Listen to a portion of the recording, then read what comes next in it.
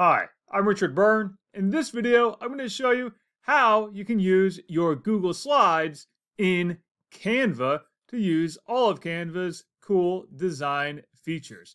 Let's go ahead and take a look here. I made a similar video a couple weeks ago. This is a follow-up to address a question that I just got on Twitter. So let's say I'm in my Google Slides here and I want to use them in Canva. So what I need to do is go to the File menu and download these as a PowerPoint file. So I'm going to download all these slides as a PowerPoint file.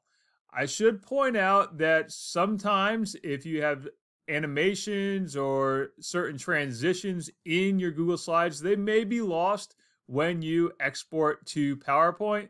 And then you're going to go into Canva here, go to canva.com and log into your dashboard and select create a design and you can choose import file and you'll then be able to use those slides and there are my slides right there and we'll import those slides. And we can see right there my slides are importing.